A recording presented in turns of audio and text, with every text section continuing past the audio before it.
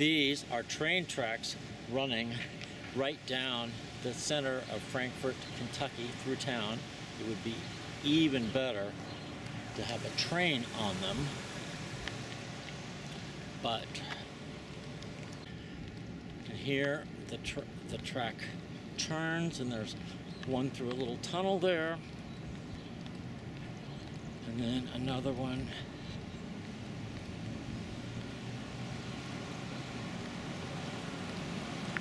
I don't know. So anyway,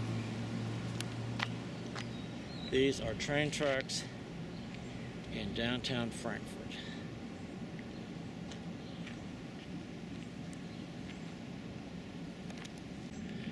And then there they go.